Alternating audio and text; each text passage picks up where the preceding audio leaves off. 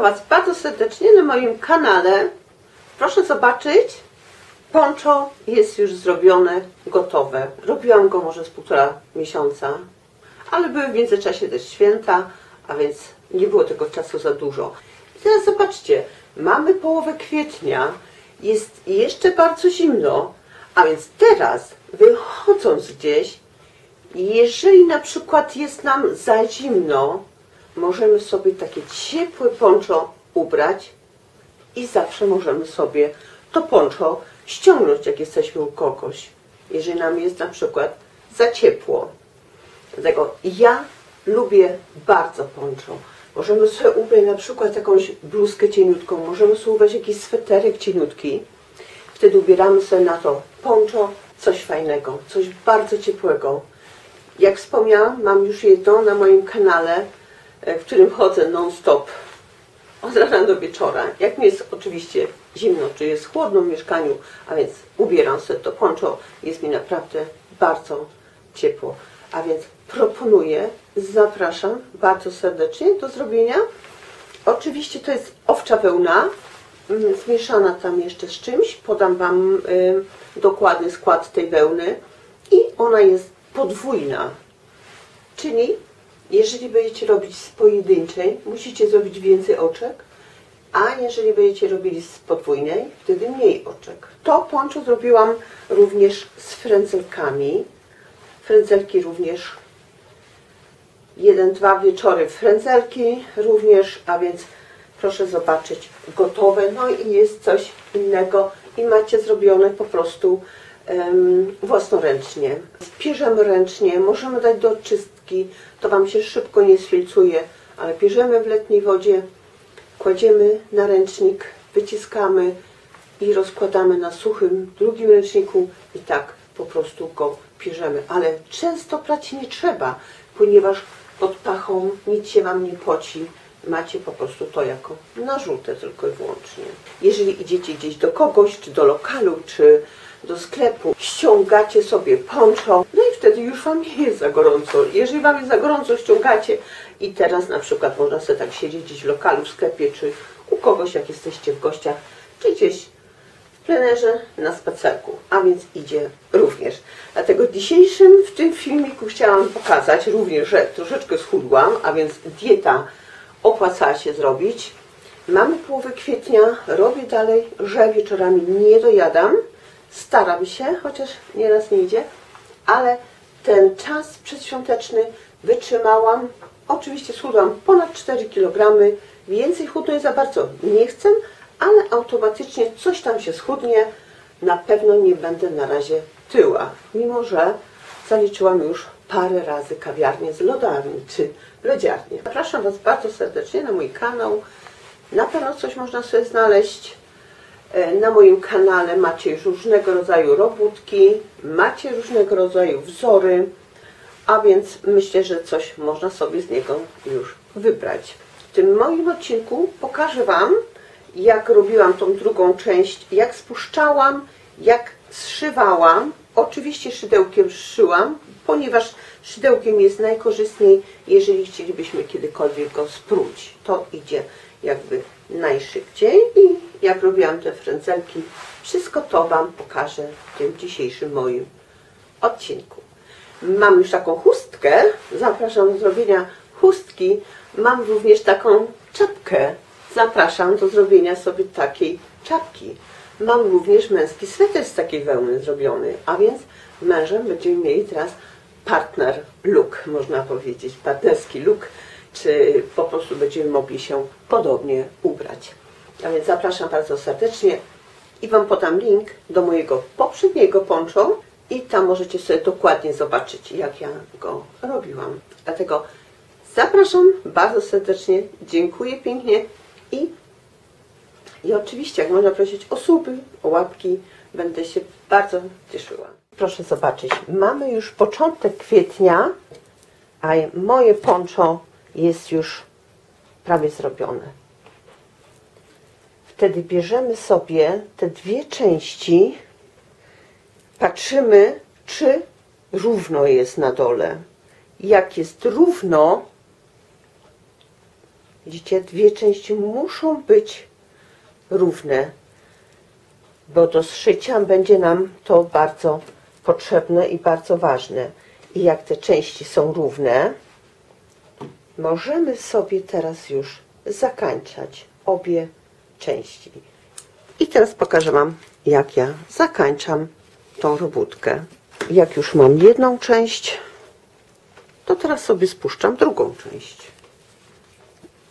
Tak samo, czyli raz, dwa, za nitkę przeciągam, ściągam, to oczko nakładam. Raz, dwa i nakładam. I luźnie pamiętać, żeby nie było ciasno.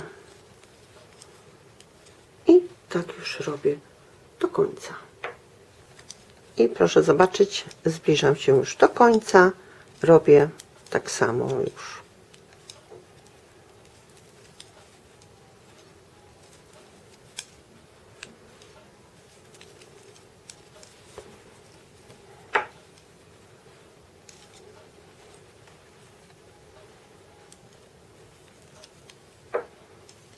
I ostatnie. Również tak samo przeciągam zostawiam troszeczkę nitki. Zostawiam troszkę nitki ucinam i wyciągam z jednej strony te dwie nitki a to zostaje. I proszę zobaczyć następna część już jest gotowa. Wkładam teraz zaczynam z tej strony tutaj zszywać przynajmniej do połowy troszeczkę za połowę może za połowę z tamtej strony również za połowę bo ja sobie zrobię też taki wywinięty jak ten poprzedni bo są bardzo praktyczne. I teraz zaczynam zszywać. Łapię tutaj gdzie są te dwa końce mogę sobie nawet związać nie ma problemu żeby sobie te dwa końce związać. Tu w tym przypadku. Wtedy mamy równo.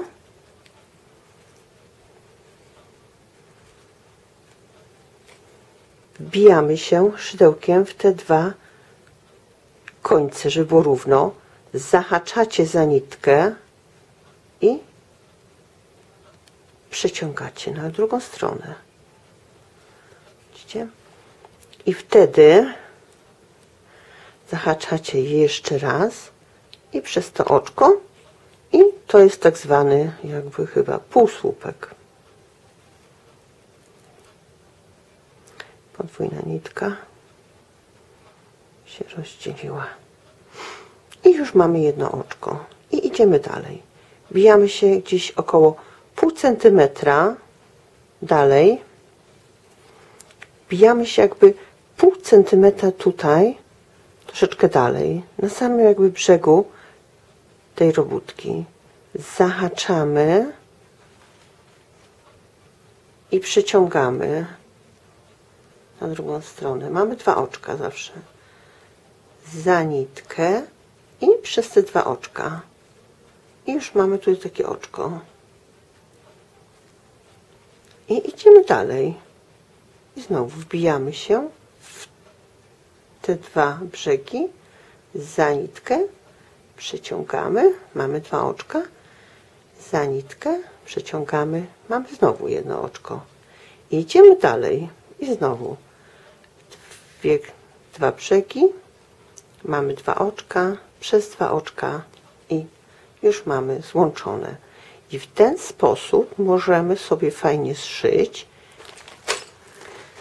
możemy sobie wziąć na przykład agrafkę i sobie zaznaczyć, dokąd chcemy szyć.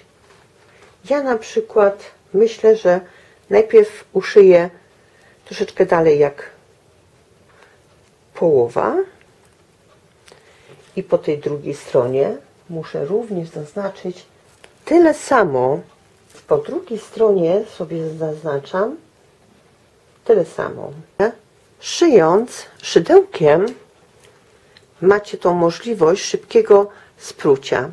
Zobaczcie, ja tutaj mam zszyte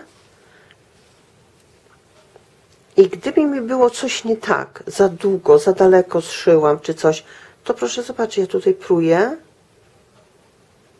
Widzicie? I proszę zobaczyć, już mam rozprute. Wtedy jest bardzo fajnie przy na przykład pruciu tych części tego, jeżeli na przykład chcemy, y, jak nam się zniszczy to poncho, czy nam się znudzi, czy już nie będziecie chcieli mieć, możecie sobie to spróć i robicie sobie wtedy fajnie i prujecie sobie wtedy fajnie tę każdą część. Jeżeli macie igłą z nitką tak na szynowo zszyte, to jest gorzej, bo tutaj rozdzielić, gdzie jest ta nitka, którą zszywaliście, żeby nie pokaleczyć tych brzegów jakby, nie poniszczyć tych dziurek, bo wtedy Wam się będzie źle pruło, to jest ten mały problem, można powiedzieć. Ale tylko mówię, jak ktoś sobie życzy, ktoś chce pruć, ale jak to jest wełna prawdziwa, to warto jest pruć, nie wyrzucać takich robótek. To tylko tak na marginesie Wam powiem.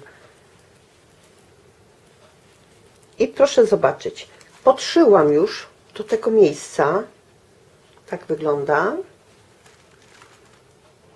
Teraz przejdę i zacznę szyć z tej strony, ponieważ nie wiem dokładnie, um, jaki dekolt chcę mieć, jakie wycięcie, czy jeszcze trzeba będzie podszyć wyżej, a więc żeby nie pruć, bo możliwe, że będziecie na przykład nitką szyć z igłą, igłą z nitką będziecie szyć, a więc róbcie tak, że najpierw sobie zróbcie na przykład tak, żeby był większy dekolt, a później możecie sobie zawsze z centymetr dwa podszyć z obu stron, żeby na przykład był mniejszy dekolt. To będziecie widzieli, jak Wam na przykład pasuje. Biorę sobie drugą nitkę i drugą sobie teraz szyję. Trochę zostawiam, później ją wszyję. Bijam się za nitkę, przyciągam, mam dwa oczka i znowu jedno. I oczywiście tak już szyję dalej. Oczywiście możemy przełożyć go na tą stronę i wtedy macie ładnie uszyte. Widzicie? I nie widać szwu.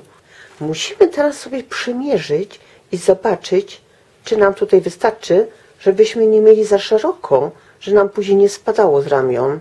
Tą agrawkę odpinamy i sobie wtedy szczepiamy, patrzymy, gdzie czy ile musimy jeszcze podszyć. Ja myślę, że gdzieś z tyle będę musiała jeszcze podszyć. A więc to jest ta opcja moja, druga na to poncho.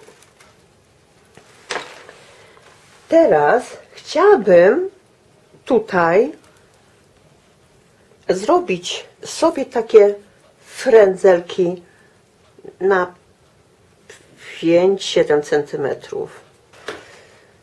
I teraz biorę sobie ze 3-4 nitki i bierzemy sobie teraz i nawijamy na przykład na 3 palce. Możemy na 4 i nawijamy bardzo, bardzo dużo nitki. Jak długie chcecie mieć te frędzelki? A więc możemy to później przeciąć na pół. Zaraz zobaczę ile to centymetrów. Nie puszczam. I teraz tutaj kroję sobie jakby no, muszę to przekroić. Tępe nożyczki mam. Proszę sobie wziąć ostre.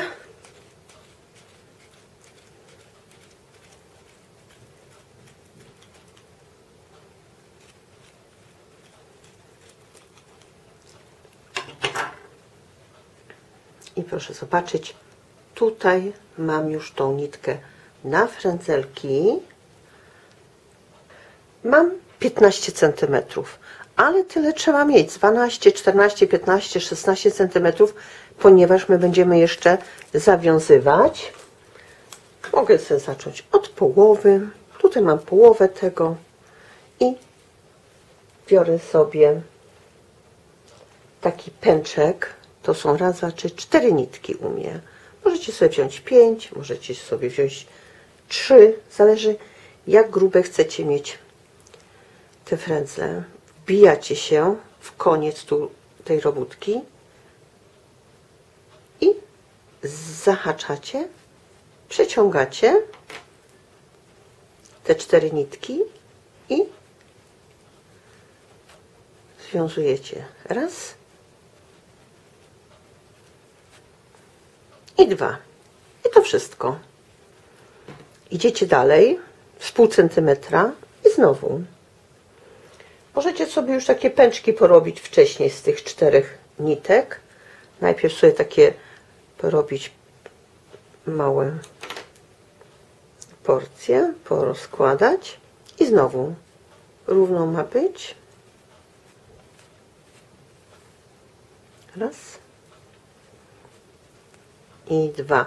I dopiero na koniec możemy sobie ładnie wyrównać. Bierzemy ostre nożyczki i naokoło sobie możemy wyrównać te frędzle. I znowu idziemy pół centymetra dalej.